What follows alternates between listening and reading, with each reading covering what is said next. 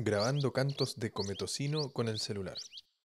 Hola, soy Francisco Rivas del Museo Bioacústico. Soy Matías Garrido de la ROC y estoy interesado en conocer los cometocinos de Chile. Hasta el momento se han descrito tres especies del género Frigilus para Chile. El cometocino del norte, Frigilus atriceps, que habita la zona cordillerana desde el extremo norte hasta Coquimbo.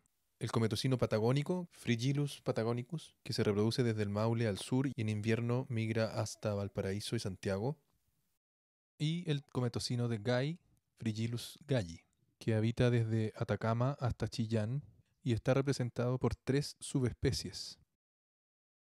Galli, que habita desde la cordillera de Atacama hasta el Biobío y zonas adyacentes de Argentina.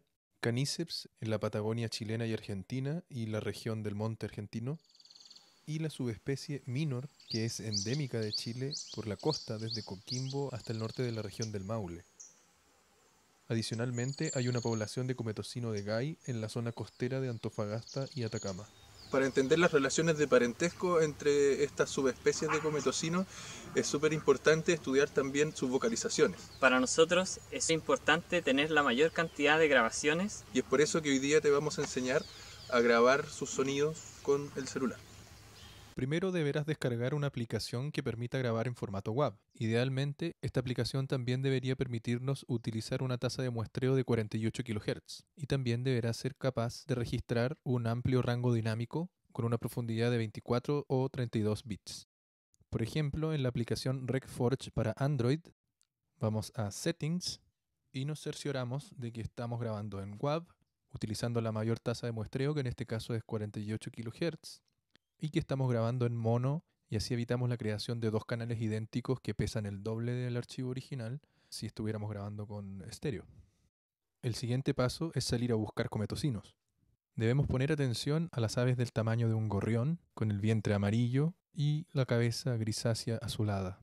Las hembras tienen un color más deslavado que los machos y presentan una bigotera mucho más marcada que estos.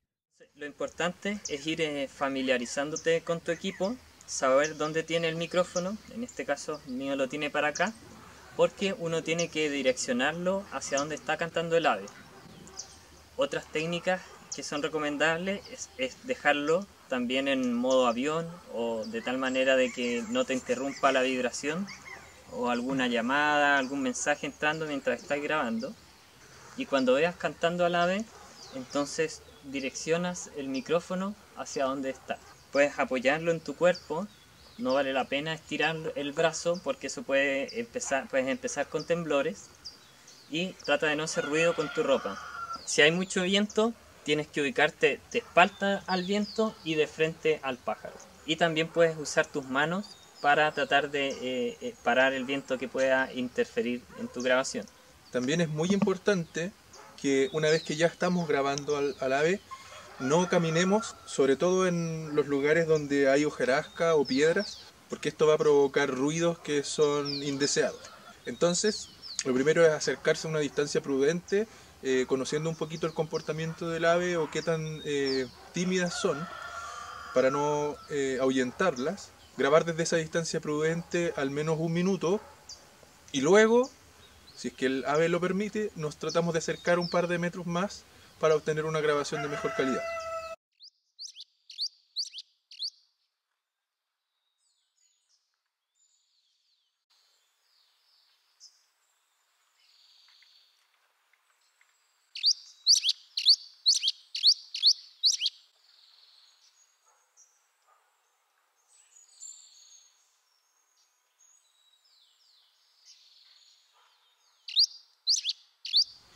Una vez que ya realizamos nuestro registro, es muy importante que agreguemos una nota de voz, en la cual vamos a poner toda la información que necesitamos para que esta grabación después tenga un valor científico. Algunos de los datos que debemos agregar son la fecha, la hora, la condición climática, el comportamiento del ave, ojalá la temperatura relativa, si es que es posible identificar el sexo y la edad del individuo o los individuos que estamos grabando, y el equipo que utilizamos para grabar, en este caso el modelo del celular y, el, y qué aplicación eh, utilizamos. 12 de agosto de 2020, 9.05 de la mañana, Casa Blanca, eh, cometocino macho que estaba comiendo fruta mientras hacía vocalización de contacto y con algunas notas del canto. Día despejado, soleado, pero helado todavía. Ahora que ya sabes cómo grabar cometocinos con el celular, te invitamos a salir a grabar y a compartir tus grabaciones a través de la plataforma eBird. En la descripción del video encontrarás tutoriales sobre cómo utilizar esta aplicación.